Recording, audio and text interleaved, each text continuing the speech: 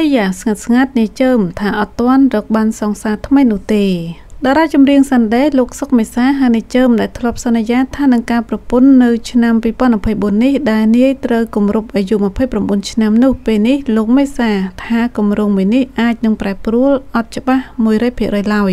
និជើមបានលើកឡើងរឿងរ៉ាវមួយនេះថា ចំពោះមូលហេតុដែលនាយអត់ទាន់ប្រកាសការប្រពន្ធឆ្នាំនេះដោយសារតែតាំងពីនាយបែកពីសង្សារចាស់សេងសុខេមកនាយមិនទាន់មានសង្សារថ្មីនោះទេពលគឺនៅទំនេរហេតុនេះហើយមិនដឹងជាទៅរៀបការជាមួយនឹងអ្នកណាឡើយប៉ុន្តែនិជើមថានឹងមិនទុកជីវិតនៅលាវឬឯកានេះឲ្យយូរនោះទេព្រោះជីវិតត្រូវការមានគូហើយពេលនេះរកស្រីស្អាតហើយនេះនឹងបញ្ចេញជាចំហអត់ត្រូវការលាក់លៀមនោះទេ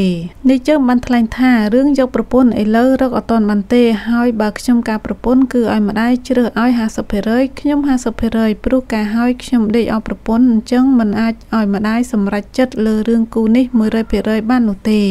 នាយជើមក៏បានឆ្លើយតបចំពោះរឿងដែលគេថានាយធ្លាប់មានសង្សារសុទ្ធតែជាស្រីស្អាតស្អាតអញ្ចឹងស្រីស្រីធម្មតានាយមើលមិនចូលភ្នែកនោះដែរដោយនាយបានអះអាងថារឿងនេះនាយសូមជឿលើនិស័យឬជាគូព្រេងមកដល់មិនអាចប្រកែកបានទេ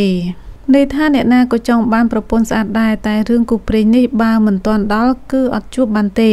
លោកមេសាក៏ថាមិនមែនលោកមើលឃើញតែស្រីស្អាតស្អាតស្រីធម្មតាមិនចូលភ្នែកនោះទេប៉ុន្តែសំខាន់ទៅលើនិស័យ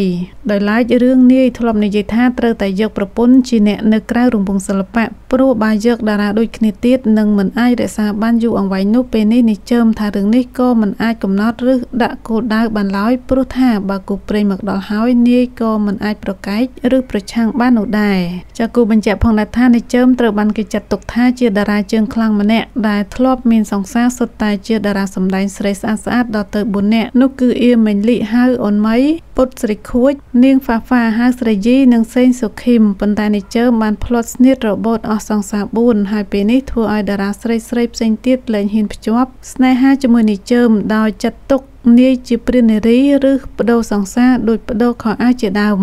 នាយជើមថាពេលនេះនាយលែងខ្វល់ហើយចង់អ្នកណាថាអីថាចោះសំខាន់នាយមានតែប្រឹងធ្វើការរកលុយដើម្បីជួយផ្គត់ផ្គង់ក្រុមគ្រួសារឲ្យបានល្អ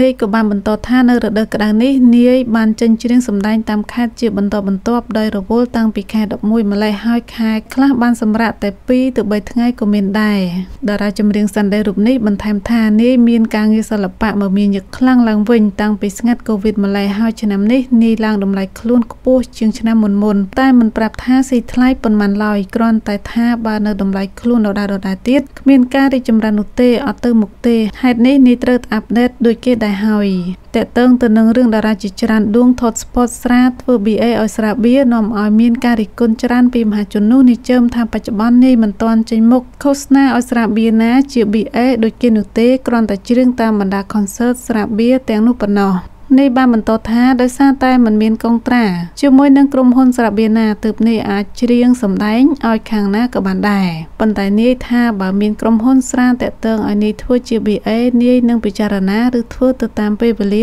ពលគឺមិនបិទច្រកខ្លួនឯងក្នុងការរកលុយនោះឡើយចំពោះការលើកឡើងរបស់នាយជើមបែបនេះបន្ទាប់ពីមុននេះនាយគ្រឿនបានរងការរិះគន់ថាជាតារាបំពោសង្គមព្រោះតែនាយឃោសនាឲ្យបនលបែងនិងស្រាបៀមួយចំនួនហើយភ្លាមៗនោះនាយជើមបានចេញមុខប្រកាសថាឈប់ធ្វើការឃោសនាឲ្យក្រុមហ៊ុនលបែងឬស្រាបៀរណាអស់មួយជីវិតប៉ុន្តែនាយជើមវិញថានាយនឹងគិតឲ្យបានល្អិតអន់ជាមុនសិនមុននឹងសម្រេចចិត្តថាគួរធ្វើឬមិនគួរធ្វើការងារខាងលើនេះចំពោះមហាជននឹងរងចាំមើលថាតើសង្សារទី5របស់នាយជើមជាតារាសម្ដែងស្រីស្អាតទៀតឬមួយក៏នាយបាក់ស្មាតព្រោះត្រូវគេឆក់បាត់សង្សារម្ដងដល់ទៅ4ហើយចង់សាកល្បងយកក្រមុំក្រៅពិភពសិល្បៈស្អំរបួសបេះដូងវិញម្ដង